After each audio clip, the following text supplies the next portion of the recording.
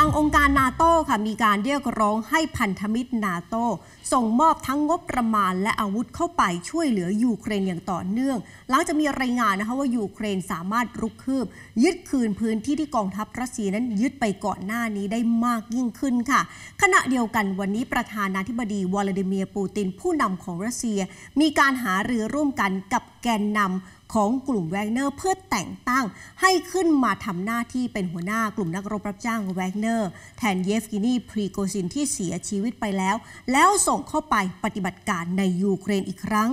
โดยทางดมิตี้เบสคอฟโฆษกทำเนียบเครมลินได้เปิดเผยว่า ประธานาธิบดีปูตินของรัสเซีย ได้พบหารือกับอันเดรโตเชฟ ซึ่งเป็นหนึ่งในแกนนำกลุ่มแวกเนอร์ และผู้ใกล้ชิดของเยฟกินีพรีโกซิน อดีตผู้นำกลุ่มนักรบรับจ้างแวกเนอร์ ซึ่งขอให้เขาเข้าไปทำหน้าที่ดูแลหน่วยรบของกลุ่มแวกเนอร์ในยูเครน โดยประธานาธิบดีปูตินย้ำนะคะว่าโตเชฟ รู้ปัญหาจำเป็นที่ต้องได้รับการแก้ไข เพื่อการสู้รบเดินหน้าไปอย่างดีที่สุด และประสบความสำเร็จมากที่สุด ขณะที่โตเชฟนี้ยังได้ทำงานในกระทรวงกลาโหมรัสเซีย ซึ่งการพบกันดังกล่าวมีผู้ช่วยรัฐมนตรีกลาโหมรัสเซียเข้าร่วมด้วย เป็นการตอกย้ำเรื่องของการรวมกลุ่ม นักรบรับจ้างแวกเนอร์ ให้เข้ามาอยู่ในระบบของกองทัพรัสเซีย หลังเกิดเหตุการณ์พรีโกซินนำกลุ่มแวกเนอร์พยายามก่อกบฏ เพื่อโค่นล้มกลาโหมของรัสเซียเมื่อมิถุนายนที่ผ่านมา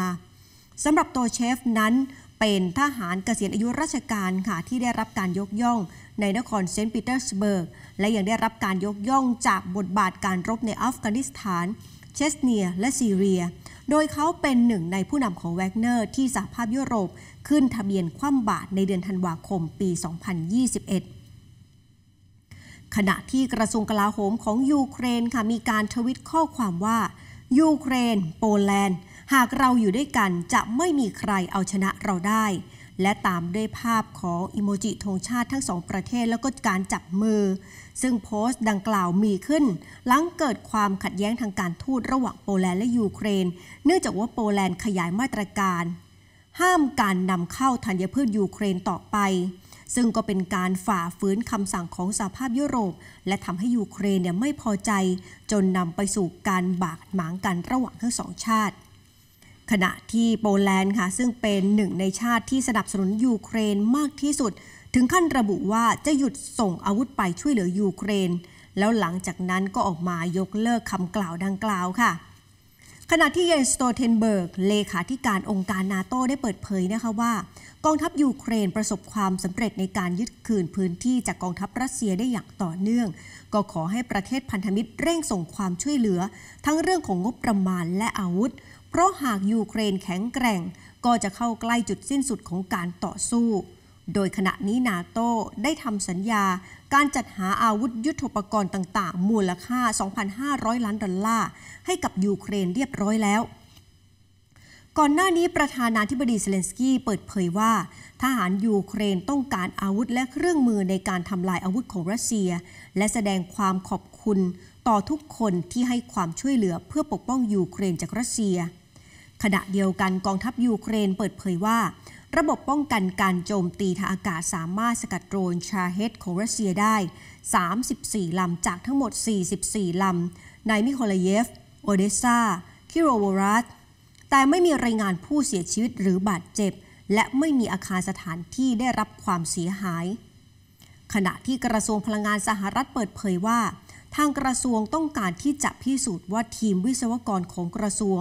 ไม่ได้ฝ่าฝืนข้อตกลงห้ามการทดสอบอาวุธนิวเคลียร์ ซึ่งเป็นความเคลื่อนไหวที่ต้องการกระตุ้นให้จีนและรัสเซีย มีความโปร่งใสมากยิ่งขึ้น และเพื่อเป็นการลดความตึงเครียดทางการทหาร โดยสหรัฐเนี่ยได้มีการเสนอแผนการให้คณะผู้สังเกตการนานาชาติ ได้ไปเยี่ยมชมการทดสอบอาวุธของสหรัฐ และข้อเสนอนี้มีขึ้นนอกรอบการประชุมสำนักงงานพลังงานปรมาณูสากลที่กรุงเวียนนาของออสเตรียในสัปดาห์นี้ ซึ่งที่ออสเตรียนะคะได้มีการจัดการประชุมดังกล่าวขึ้นทำกลางช่วงเวลาสำคัญในการควบคุมอาวุธนิวเคลียร์ของนานาชาติขณะที่สำนักงงานด้านความมั่นคงทางนิวเคลียร์แห่งชาติสหรัฐทำหน้าที่ดูแลคลังหัวรบนิวเคลียร์ของสหรัฐมากกว่า 5,000 ลูก บรรดานักวิเคราะห์เดี่ยวมาเตือนว่า ภาพถ่ายดาวเทียมเนี่ยเผยเห็นจุดทดสอบนิวเคลียร์ต่างๆ ทั้งจีน รัสเซียสหรัฐ ซึ่งเป็นการแสดงให้เห็นว่า อาจจะมีกิจกรรมในการทดสอบนิวเคลียร์ที่เพิ่มมากยิ่งขึ้น